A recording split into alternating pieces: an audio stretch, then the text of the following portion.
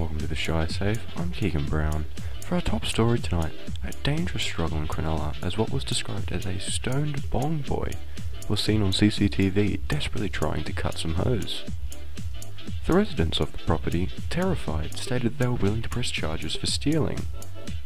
This incident is an obvious example of the devastating effects the national garden hose shortage is having on local communities with the story only breaking recently involving a Western Sydney Bunnings allegedly being robbed of 36 reels of garden hose, with them later being found in a nearby reserve.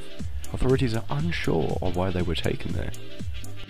That's all from us tonight. Remember to go follow us on Facebook and Instagram, and subscribe on YouTube by the link in our bio if you haven't already. Thank you.